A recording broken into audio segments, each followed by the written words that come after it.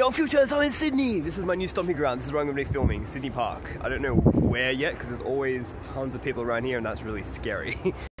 it's pretty funny for someone who's very much into like the counterculture ideas, alternative ideas, a little bit rebellious. That I'm really looking forward to getting back into a routine because the whole shock of moving was pretty intense. Because I'm 29 years old and I've never lived in a city before, so I spent 18 years in a country town that had a population of 5,000 people, then 11 years in a kind of half city, half country town with 200,000 people. And while there's shit like this going over like every couple of seconds and there's constant noise, I'm really looking like it's so soothing being in this park and not being surrounded by people around like everywhere. And so most people move up to Sydney mostly to get a job because there's more jobs up here, or if they're running a startup, is to be involved in the startup community. But I'm moving up for neither of those reasons.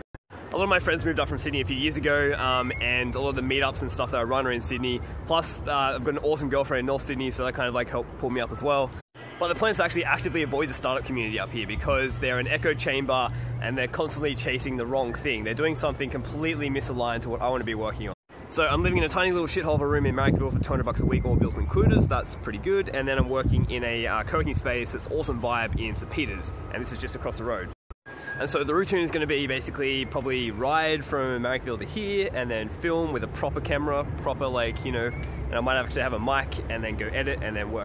And the point is, like, once I get a few other projects out of the way, I'm going to be working on this full-time uh, peer-to-peer economy that I want to be building. So I'm calling it Peerium. Um, so yeah, have a look out for that. Anyway, that's just a bit of background why I'm up here. Um, I wanted to just talk about briefly, like, the, the trauma of those things, of, like, moving. Like, it was really traumatic moving. I'm still kind of just getting over it now. My ideas are going to suck for another week. Like, rationally, moving shouldn't be a traumatic experience, but it was for me. It was such a, was such a shock. Um, it took, like, three weeks to organize finding someone to move into my place and then finding a place to move into, so that was a bit of a hassle. And so I think there must be some type of like deep tribal kind of evolutionary safety mechanism in play where you like, you know, the moment you like pushed outside your comfort zone, it just becomes a massive limbic shock. It's probably very similar to the feelings of like being dumped or like being in a threatening situation or having health issues or having no money or losing your job or all these typical like human monkey traumas. I think that's perhaps something we all forget uh, when we go through our lives is that it's, we're all animals, really. We're animals trying to fit into a very rational system, so it doesn't really make sense. All. And so I think as a result, we tend to like all choose the path of least resistance, like the easiest option, the uh, the thing that is the easiest and quickest to remove that that pain or that anxiety. And I noticed that even in looking for a place, so literally the first place I inspected, I was like, yep, I'll take that. Because I messaged 100 people, only 9 responded, and only 3 offered inspection options, so I was like, I'll just take it. And I think people do the same thing when looking for a job as well. They're like, shit, I'm running out of money, that's a massive anxiety, they need a job, and so they literally take the first option, and that's why they end up in these really bad situations. So one thought I had was that we also if an AI system basically like knew uh, how you responded to these types of things and kind of like guided you through these traumatic events. And I think as humans, we kind of need something, some external intelligent entity, because there's so many layers. There's like the evolutionary layer, the limbic layer, the nervous system, like so many layers that get affected. And because it's a layered kind of emergent system, that means it's really difficult for us to control it from a rational top down point of view. It's just things, you know, the inputs affect us and then it creates an emergent outcome. I mean, when you go through a traumatic event, you basically you turn to you know the people you trust and know you, your friends, your family to kind of help you through it, but they don't really understand exactly what's happening to cause that. So imagine if we had an artificial intelligent kind of assistant, like a, a, kind of guide, I guess, a guide through life, who could actually identify exactly what's causing the stress and anxiety and how to fix it.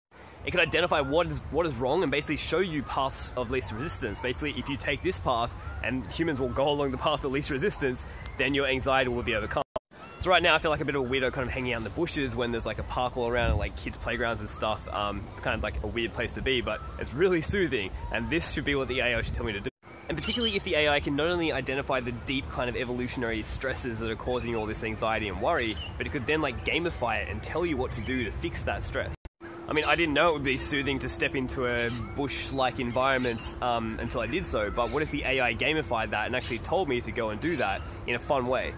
I guess you could almost describe this idea as like a um, 24/7, on-demand, always watching, always guiding you uh, artificial intelligence psychiatrist that gamifies your life to make you feel good always. And I think if we each had something like that, it would help us kind of step out of our comfort zones, out of our little bubbles even more. Um, it would be less of a traumatic experience, and so we'd be more likely to go and explore new things.